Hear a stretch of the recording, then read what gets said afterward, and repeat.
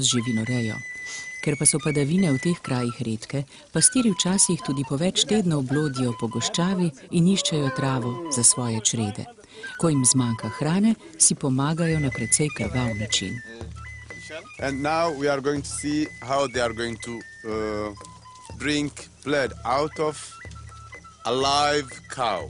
They are going to use a spear and arrow, then they just uh, prick on the vein of the cow. They are going to collect a blood with that calibus. So usually they mix it with milk, then they drink it. That's a good breakfast for them. Then they are going to stay for the whole day without eating anything.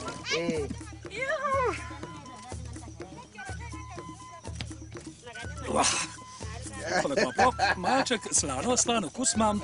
Uh, drugač pa v bistvu je čisto v redu stvar, pri nas jemo krvavice, je ista stvar, ti sem predsotke imamo drugačne, bi so bile kakšne sile.